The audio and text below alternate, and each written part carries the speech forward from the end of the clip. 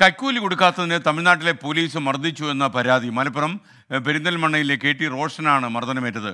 പ്രധാനമന്ത്രി ദേശീയ മനുഷ്യാവകാശ കമ്മീഷൻ തമിഴ്നാട് മുഖ്യമന്ത്രി എന്നിവർക്ക് ഇപ്പോൾ പരാതി കൊടുത്തു കഴിഞ്ഞു. രണ്ട് മാസമായി വാഹനം തടഞ്ഞു വെച്ചിരിക്കുകയാണെന്നും പരാതിയിൽ ചൂണ്ടിക്കാണിക്കുന്നു.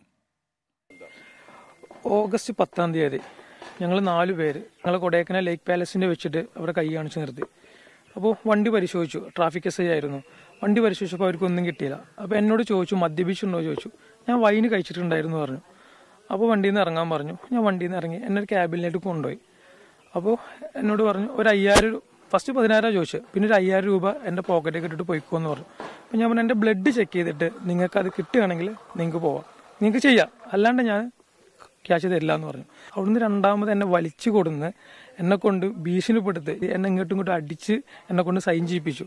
ഞാൻ സൈൻ ചെയ്തിരുന്നില്ല. എന്നെ സൈൻ ചെയ്ത് ചെയ്യിപ്പിച്ച്. സമീർ ബിൻ കരീം വിശദാംശങ്ങളുമായി ചേരുന്നു. സമീർ ഗുഡ് മോർണിംഗ് പറയൂ.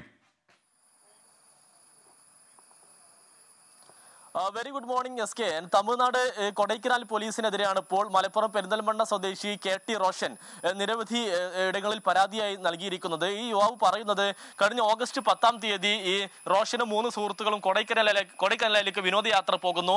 മടങ്ങി വരുന്ന വഴിയിൽ കൊടൈക്കനാൽ പോലീസ് ഇവരുടെ വാഹനം തടഞ്ഞു നിർത്തുന്നു. മദ്യപിച്ചിട്ടുണ്ടോ എന്ന് ചോദിക്കുന്നു. ഇല്ലെന്ന് യുവാവ് പറയുന്നു. പിന്നാലെ അയ്യായിരം രൂപ കൈക്കൂലി വേണമെന്നും ഈ പോലീസ് ആവശ്യപ്പെട്ടു എന്നുള്ളതാണ് യുവാവ് പറയുന്നത്. എന്നാൽ അത് നൽകാൻ തയ്യാറായില്ല.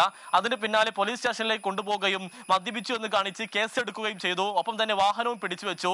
അതിന് പിന്നാലെ രണ്ട് മാസം കഴിഞ്ഞിട്ടും ഇതുവരെ വാഹനം വിട്ടു നൽകിയിട്ടില്ല എന്നുള്ളതാണ് ഈ യുവാവ് പരാതിയിൽ പറയുന്നത്.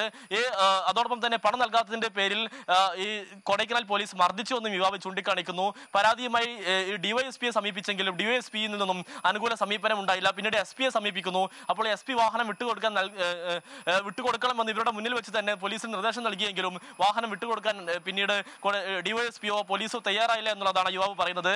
അതിന് പിന്നാലെ വാഹനത്തിന്റെ എല്ലാവിധ രേഖകളും കാണിച്ചു നൽകിയിട്ട് വാഹനം വിട്ടു നൽകിയില്ല. രണ്ട് രണ്ട് മാസം പിന്നിടുന്ന ഘട്ടത്തിലാണ് ഇപ്പോൾ പ്രധാനമന്ത്രി ഒപ്പം തന്നെ തമിഴ്നാട് മുഖ്യമന്ത്രി ഉൾപ്പെടെയുള്ളവർക്ക് യുവാവ് പരാതി നൽകിയിരിക്കുന്നത്. S K. Thank you. നമുക്കൊപ്പം ചേർന്ന സമീർ ബിൻ കരീമാണ് തിരൂരിൽ നിന്ന്.